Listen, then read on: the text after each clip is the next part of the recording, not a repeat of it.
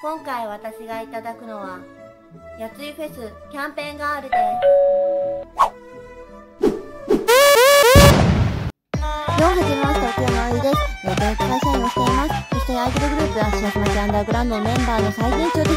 職業は楽しいさん、楽しいことが大好き。好きなビルは泉ガーデンタワーで、アイドルとオタクと音楽とお笑いが好きです。趣味はハイファイと、今流れているオタマトーンです。やついフェスはエレクトリックやつい一郎さん主催の音楽お笑いミュージシャンアイドル文化庁を交えて行われるエンターテインメントです。なんと今年はオンラインで開催6月26月21日。出演者はなんと224組オンラインフェス最大規模。